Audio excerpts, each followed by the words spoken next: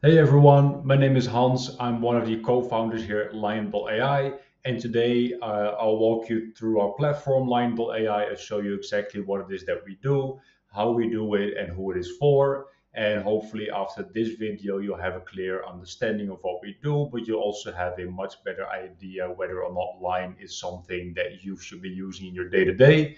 So the idea of this video is to provide you with a bit of a demo so you'll be able to make an informed decision whether or not Lyne is for you. But don't worry, um, if you're still not 100% sure or you just want to try it out for yourself, remember that we offer 25 free credits as a trial. So whenever you sign up for your free trial, you'll get full access to the app, no restrictions, and you're able to generate 25 lines for free. So now that now that that is out of the way, let's jump into the actual app. So once you sign up, log in, this will be the first screen that you'll see. And we have two options here that you can choose as your data source.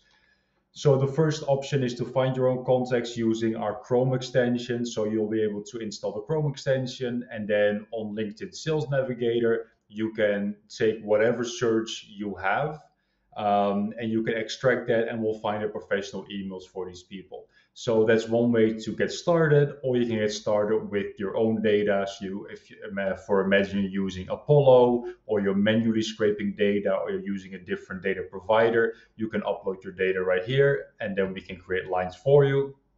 Now, if you want to know more about our Chrome extension, then on login there's a separate demo right here.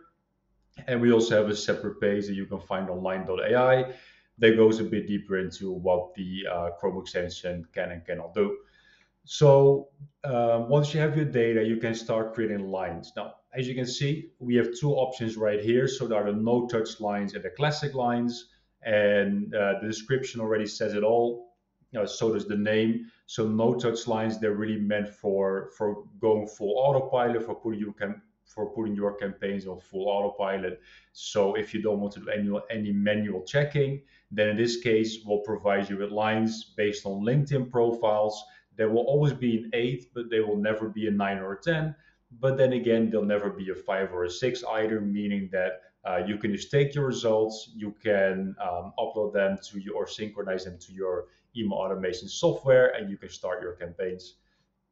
So those are no touch lines. And again, we'll, we'll show you, I'll show you some examples in just a second.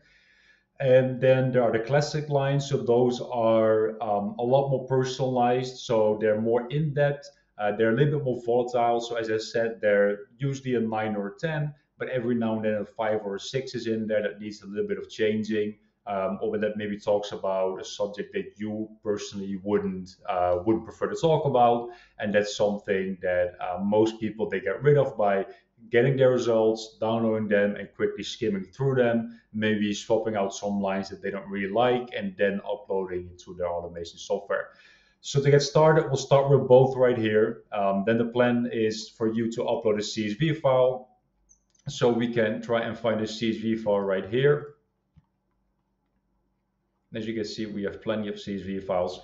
So then these are all your personalization sources that you have right here. Now, if at any point you're um, you need a bit of a reminder of, of what is what, then you can just hover over the question mark right here and it will show you exactly uh, what these sources mean. So um, just to quickly touch on all of those. So personal content, for example, is where we try and find podcast appearances, maybe events that, that these people have spoken at, um, or maybe blog futures, webinars, Substack articles, etc. Then there's the personal LinkedIn where we will look at their personal LinkedIn about section. The no touch ones we already mentioned, and I will show you the exact examples of what that output looks like in just a second.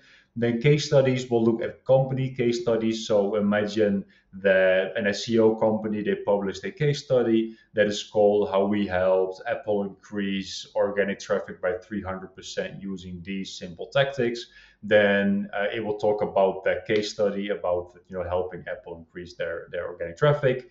Recent news looks at recent company news, funding news, hiring, anything else. Um, company website is generally a bit of a more generic one, so it looks at what that company does and what that business does. at their value proposition, and based on that, it will write an intro. However, if you're reaching out to e-commerce companies, this one's actually pretty cool because we're usually able to see what that company is selling. And then based on that, it will write an introduction. So if you're reaching out to e-commerce companies, then definitely keep the company website one on and see what that looks like for you. And then blog post, it will look at a company blog post and it will write something based on that. So once you have your favorites uh, selected, then make sure you rank them.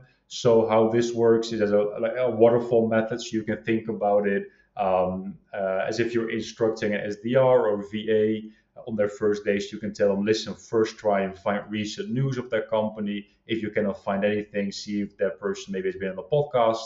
Uh, otherwise, look for a blog, uh, then case studies, and uh, as a last resort, look at their LinkedIn About section, for example. So that's how you rank these, how you can set your source priority. And then, as a pretty cool bonus feature, we also provide matching subject lines. So um, the case study, for example, that I mentioned earlier, that talks about helping Apple increase organic traffic by 300% uh, a, magic, a matching subject line to that intro would, for example, be Apple case study or um, 300% increase or Apple organic traffic. So you have that subject line that ties directly into the intro. So if you combine those two, that email preview will, will, will look really personalized and look really good. And in a controlled environment, some of our users did a, did a case study. They managed to um, uh, to get a 200% increase in open rate. So altogether, that's a pretty powerful combination. Once you have your settings set how you want them, uh, you can hit confirm, and then all you'll have to do is to map all the fields. So as you can see, my CSV have quite a few, uh, quite a lot, a lot of fields. Um, however many you map is completely up to you. So if, for example, you're going with the no touch lines, then all we need is a personal LinkedIn URL, and that's that. But if you're going, if you want more in-depth personalization, obviously we would require a little bit more, um, a little bit more input from your end. So in that case, you would map the website, the first name, last name, company name, job title, and then we know exactly who that person is that we have in front of us, and then we're able to find more information on that person. Um, then also keep in mind that whatever you map as input will also put in the output file. So if you want your output file to have certain fields, make sure that you put that in here as well. Then once that is done, we'll start scanning uh, and you can find your scans right here under lines. And once those are ready, uh, you can either download them from there and then you'll have uh, CSV files or you can synchronize them. So we have a bunch of integrations that you can use and um, you can synchronize directly with your call outreach software. And that way you can reach out on autopilot. Then um, let's dive into some no touch examples first. So as you can see, we have a bunch of LinkedIn profiles here, LinkedIn URLs. It's important that these uh, they should be regular LinkedIn profiles. So we don't work with Sales Navigator URLs just yet. Um, neither do we work with uh, what I call like encrypted URLs, whatever you would call those. So as a like a rule of thumb is they need to have the person's name in there. Then based on that, we're able to find up to 12 different personalization points um, based on either the educational experience. So, hey, I see that you attended Cornell, go Big Red. They just learned it's the only publicly uh, Ivy League school, or um, it's interesting that the Orwell Lab used to be a factory but also based on maybe famous people who went to that same university, um, or maybe the, the, the university dining room, for example. If you feel like, hey, listen, that's probably not a great fit for the people who I'm reaching out to, don't worry, you have up to 12 different points. For example, um, a personal transition one saw you move from A to B, curious to understand how it influenced your path, and then different variations of that.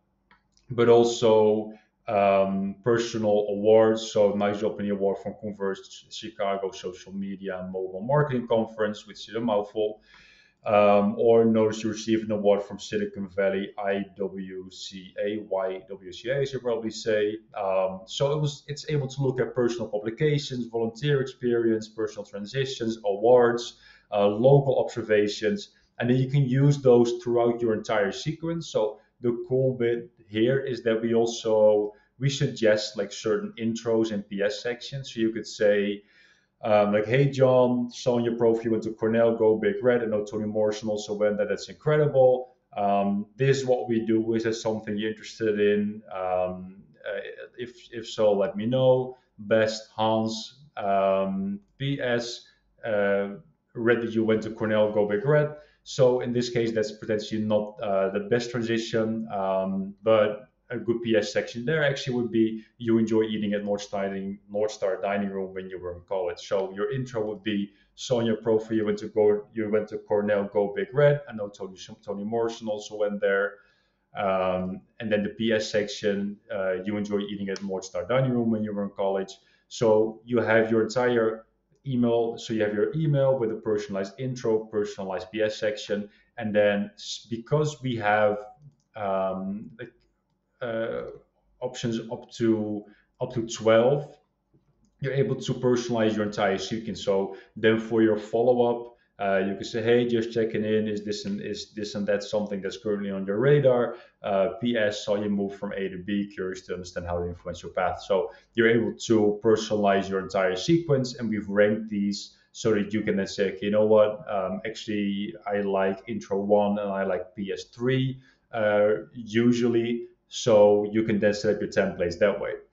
So those are no touch lines. And then um, the simpler ones, um, as in the simple ones to explain, are our classic ones.